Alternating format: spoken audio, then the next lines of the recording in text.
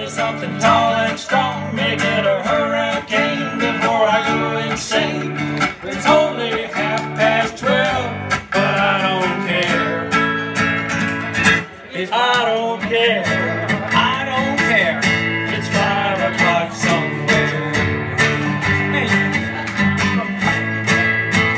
It really is 5 o'clock somewhere, ain't it, Bill? It's five o'clock later in Fort Union, I know that.